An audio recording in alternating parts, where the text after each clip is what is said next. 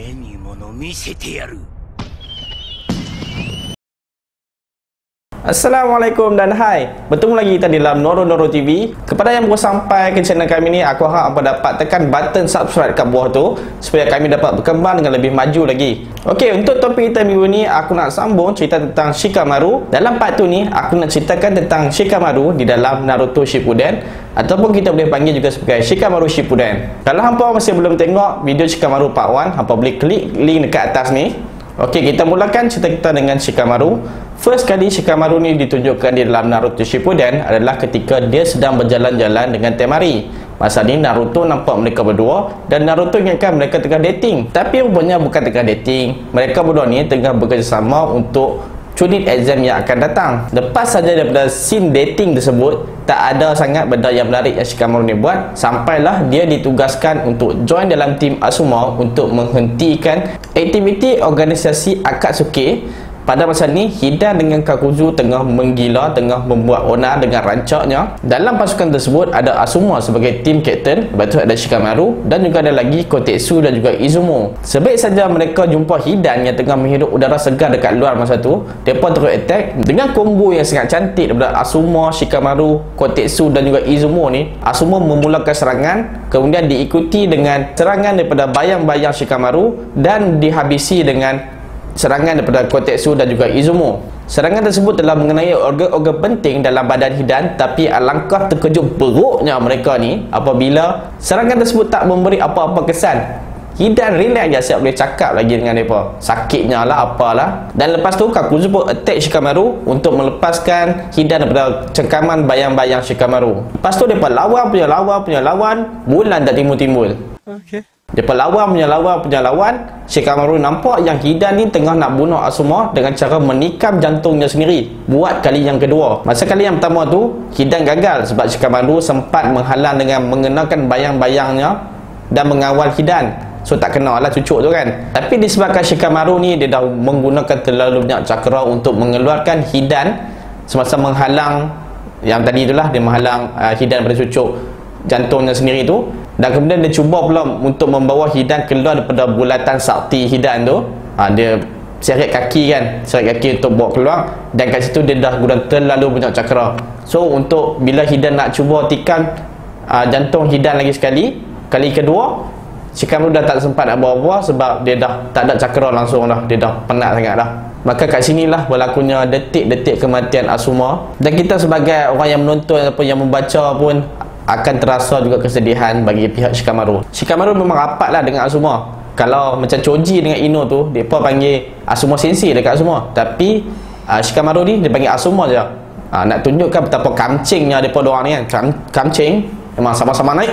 Kemudian dalam misi untuk cuba membalas dendam, Shikamaru ni ajak Choji dengan Ino untuk pergi balas dendam. Tapi mereka tiga orang je masa tu On the way nak keluar kampung tu Mereka jumpa dengan Sunadi Dan Sunadi menghalang mereka daripada keluar kampung. Sunadi kata benar dia bahaya Sebab basic platoon mesti ada empat orang. Ha, Mereka sekarang cuma ada tiga orang saja. Ha, dan pada masa ni kita nampak Tiba-tiba aja main pada mana aku pun tak tahu. Kakashi ni duk ada sandak tepi dinding tepi tu lah. Dan Kakashi ni cuba untuk volunteer diri dia Untuk join dalam uh, tim Shikamaru ni. So jadi 8 orang kan. So Sunadi pun benarkan mereka untuk uh, mission membalas dendam untuk Asuma. Kat sini kita boleh tengok sekali lagi kebijaksanaan Shikamaru tu memainkan peranan yang sangat besar. Uh, dia baru je nampak Kakashi join team dia tapi dia dah boleh buat satu plan yang mengambil kira kekuatan Kakashi. Ha, sebelum ni dia dah buat plan dah tapi dia nampak Kakashi join terus dia tukar plan dah ok so apa plan dia apa plan Shikamaru ni? Ok plan dia dia bagi dekat Kakashi satu macam botol kecil untuk ambil darah Kakuzu. Bila aja Kakashi nampak ada peluang untuk ambil darah Kakuzu mesti kena ambil. Ha, itu plan dia. Dan lepas tu dia pun mulakan perjalanan untuk mencari Hidan dan Kakuzu. Dan sebaik saja jumpa dengan orang ni Shikamaru pun secara senyap-senyap ha, dia memulakan bayang-bayang dia tu untuk tangkap ha, Hidan ke Kakuzu ke mana-mana yang dapat lah tapi tak dapat mana-mana pun dan dia pun lawan punya lawan punya lawan lagi sekali. Dan kat sini Shikamaru pisahkan Kakuzu dengan Hidan. Ha, Shikamaru ambil Hidan gunakan bayang-bayang dia dia bawa lari pergi ke tempat lain. Dan dekat tempat tu Kakashi, Ino dan Choji melawan menentang Kakuzu apa yang menarik kat sini Shikamaru ni dia dah plan dengan sangat baik. Ha, dia dah plan beberapa step ke depan. Kita boleh tengok Shikamaru ni bawa Hidan ke satu hutan yang memang tak ada orang lain boleh masuk. Sebab hutan tu adalah hutan yang sangat uh, istimewa lah hanya klan Nara saja yang boleh masuk ke dalam hutan tersebut. Kalau orang lain yang bukan klan Nara memang tak boleh masuk. So mereka pun masuk dalam hutan dan kat situ kita boleh tengok yang Shikamaru dah set up trap. Uh, dia dah pasang lah uh, bom-bom letupan-letupan kertas-kertas letupan tu kan. Memang dah ada kat situ. Selepas sampai kat tempat tu memang cakra Shikamaru ni pun dah semakin berkurangan dan Hidan pun dah terlepas daripada cengkaman bayang-bayang Shikamaru. Hidan pun seronok ah masa tu kan. Dia dah terlepas daripada bayang-bayang tu tapi semua ni berlakon je. Shikamaru saja je buat macam tu. Ingat senang-senang ah Shikamaru tu nak mati akan macam tu. Masa Hidan tengah attack Shikamaru untuk mendapatkan darah Shikamaru ha, Masa ni Shikamaru dah gunakan darah Kakuzu untuk letak atas pedang Hidan tu. So nanti bila Hidan masuk dalam bulatan sakti dia tu Orang yang terkena damage tu adalah Kakuzu lah bukannya Shikamaru Tapi kat sini aku tak pasti lah sama ada Shikamaru yang memang power gila Yang memang terror ataupun Hidan tu yang noob Macam mana tengah Hidan duk libas-libas pedang tu Shikamaru boleh pula pituang darah atas tu Ha, hak tu aku pun confused jugalah macam mana boleh jadi macam tu kan. Tapi aku nak bagi kredit kepada Kakashi lah sebab dia berjaya ambil juga darah Kakuzu tu walaupun pada mulanya tu dia ingat dia dah berjaya bunuh Kakuzu dah kan. Tapi dia still ambil juga. Ha, so dia tak celebrate awal dalam benda tu. So memang bagus lah Kakashi. Okey, lepas tu Hidan pun dia ingatkan darah yang ada dekat pedang itu adalah darah Shikamaru so dia pun cucuk jantung dia sendiri. Rupanya darah tu adalah darah Kakuzu dan terkena Kakuzu lah. So satu jantung Kakuzu dah pun hancur. Dah tak boleh guna dah. Ha, nampak tak permainan Shikamaru ni?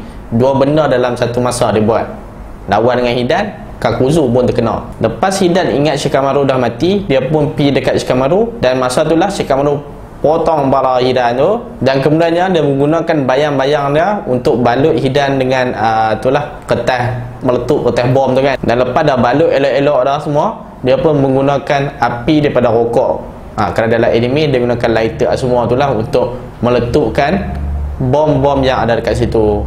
Dan lepas tu memang hancur berkecil lah badan-badan hidan ni dan uh, dia dimasukkan di dalam lubang yang sangat dalam lah dalam hutan tu. Lepas tu ada satu teori tau yang teori tu kata yang Hidan akan keluar. Sebab Hidan kan dia ada bersumpah yang dia akan cari jalan keluar untuk uh, dapatkan Shikamaru juga kan lepas tu. Mungkin Hidan akan gunakan uh, cari dia. Dia akan korek-korek lah naik sampai atas kan. Uh, tapi lah ni cerita Naruto pun dah habis. Sampai keluar ni lah Hidan pun tak mamat so kira uh, selamat lah kan. Ok lepas tu kita fast forward sikit kepada insiden sebelum Pain menyerang Konoha. Uh, masa ni Jiraya ada meninggalkan message berkaitan dengan uh, Pain lah tapi dalam mesej yang ditinggalkan di belakang fokus aku kata jantan tu tak ada siapa yang dapat decode ataupun tak ada siapa yang dapat interpret maksud untuk mesej yang ditinggalkan oleh Jiraya tersebut. Shikamaru pun dipanggil juga untuk decode mesej tersebut. Kalau kalau dia faham lah sebab dia kan uh, IQ dia tinggi juga kan. Tapi dia pun tak faham tapi dia ada idea mungkin orang yang dekat dengan Jiraiya boleh faham iaitu Naruto lah. So dia pun pergi berjumpa dengan Naruto tapi Naruto masa ni tengah bersedih di atas kematian Jiraiya tapi Shikamaru sekali lagi sebagai seorang kawan yang baik dia cuba untuk memberikan semangat kepada Naruto untuk teruskan hidup dia. Apa yang dia buat dia bawa Naruto pergi jumpa dengan Kuronai. Ha, Kuronai pun masa ni baru saja kehilangan uh, suami dia iaitu Asuma. So Kuronai ni faham lah macam mana perasaan Naruto. Dan lepas pada perjumpaan tu Naruto pun kembali bersemangat dan dia pun ada idea berkenaan apa mesej yang disampaikan oleh Jiraiya tersebut. Dan Shikamaru ni juga seorang yang bertanggungjawab. Kita boleh tengok sikap tanggungjawab Shikamaru ni pada masa sebelum Faf Kage Summit. Ha, masa ni rakan-rakan sebaya Naruto mereka tengah berbincang yang Sasuke tak akan dilayan seperti kawan lagi. Dia tak akan cuba untuk selamatkan Sasuke lagi. Dia akan bunuh Sasuke sekiranya keadaan perlu. Dan Shikamaru volunteer diri dia untuk memberitahu Naruto tentang keputusan ni sebab dia rasa bertanggungjawab dia adalah seorang leader pada masa mission untuk menyelamatkan Sasuke yang gagal sebelum ni. Semasa perang, Shikamaru telah diletakkan di dalam Division 4 dan di dalam Division ni dia telah dilantik sebagai penolong kepada Ketua Division. Ketua Division adalah Gara, tapi Gara pada masa yang sama dia memegang jawatan sebagai Commander uh, sebagai Chief Commander kiranya Gara ni agak busy lah juga. So Shikamaru lah yang akan uh, mengambil alih tugas sebagai ketua untuk division keempat. Dan di dalam perang ni sekali lagi kita boleh tengok gadangan Inu Shikacho semasa mereka berlawan menentang Kinkaku Kinkaku pada masa ni dia tengah berlawan dengan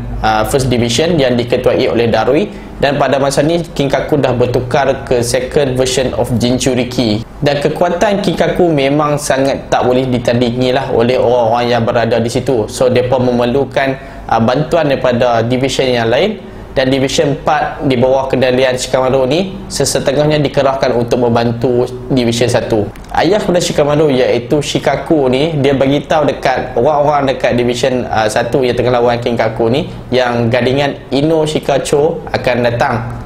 Uh, tapi bila datang tu rupa-rupanya yang datang adalah uh, version anak-anak Ino Shikacho. So orang kat situ maksudnya mula, uh, mulanya tak berapa nak yakin jugalah dengan gadingan ni tapi dah nak buat macam kan? Dah tak ada juga. So pakai juga lah apa yang ada. So apa yang gadingan Ino Shikacho ni buat mulanya Choji akan attack Kinkaku supaya untuk mengalihkan perhatian Kinkaku ni lah. Uh, dan kemudian Shikamaru akan gunakan uh, teknik bayang itu untuk mengawal Kinkaku dan seterusnya Ino akan gunakan teknik mengawal Binda. Lepas tu plan sebenarnya mereka adalah untuk memasukkan Kinkaku ke dalam Koku no uh, Koku no ni berfungsi dengan cara orang yang nak dimasukkan ke dalam Kohoku no Johe tu dia mestilah sebut uh, perkataan tu lah. Kalau Kinkaku masih di bawah kewarasan akal dia manalah dia nak mau kan sebut benda tu. Sebab dia pun tahu dia akan dimasukkan ke dalam Kohoku no Johe tu.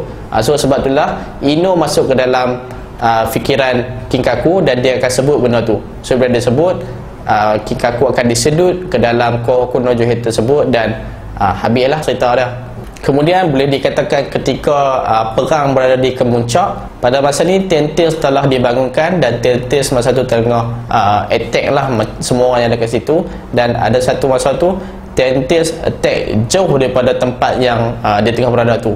Uh, rupa-rupanya dia nak attack ke arah HQ yang tengah uh, memberi arahan lah, memberi strategi kepada uh, konco-konco mereka ni kan. Dan sekali lagi momen sedih untuk Shikamaru dia kehilangan ayah dia uh, bersama dengan orang-orang lain lah yang berada di HQ tersebut macam uh, Inoichi uh, dan juga beberapa shinobi yang lain lah. Sebelum tembakan Tentis ni mengenai HQ Shikaku yang berada di HQ ni dia dah boleh agak benda tu dan dia pun uh, menghubungi Shikamaru dan mereka pun adalah conversation Arab beranak sikit macam ni. Dan juga uh, Shikaku beritahu dekat Shikamaru apakah plan yang mereka perlu buat untuk menghadapi Tentis tersebut Ha, tapi kalau plan tu tak berjaya, selebihnya bergantung kepada Shikamaru. Sebab Shikamaru lepas tu dia dilantik sebagai uh, chief strategist.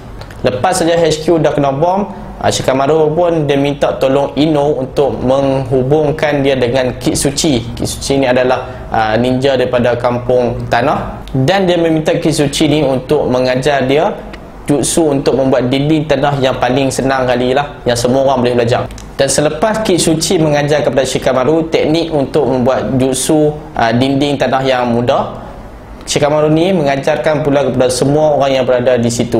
Lepas semua dah belajar uh, semua pun pakat-pakat buatlah seorang sikit dinding tanah ni. Dan bila Tentis melepaskan tembakannya tu dinding-dinding yang banyak ni lah walaupun tak kuat tapi ada banyak. Uh, so dia dapat memperlahankan uh, tembakan Tentis tersebut. Dan kemudian Minato memang datang on time lah macam ni. Ha, dia datang dan menteleportkan tembakan tentis tersebut ke tempat yang lain. Ha, so dia meletup jauh lah pada tempat tu kan. So tak ada yang tercedera disebabkan tembakan tersebut. Lepas daripada tu ada juga lagi lah beberapa fighting scene untuk gadingan Ino Shikacho ni. Tapi tak berapa nak uh, menarik sangat lah. Sebab damage yang mereka buat tu taklah sebanyak damage yang dibuat oleh uh, tim Naruto. Yang ada Sasuke ada Sakura apa tu kan So kalau nak compare dua ni Geng Shikamaru ni nampak macam kecil sikit lah. Ok guys aku rasa sampai setakat ni saja dulu video aku untuk kali ni. Kalau hampa rasa ada lagi momen-momen yang menarik untuk Shikamaru Shippuden ni Hampa boleh komen dekat bawah. Kalau aku ada tersalah info ataupun tersalah fakta Hampa pun boleh drop komen dekat bawah. Kita bincang sama-sama Sharing is caring, caring is sharing. Ok dan jangan lupa untuk share, like dan subscribe video ni Kalau hampa suka dengan konten kali ni dan sehingga ketemu lagi. Assalamualaikum dan Dodoro TV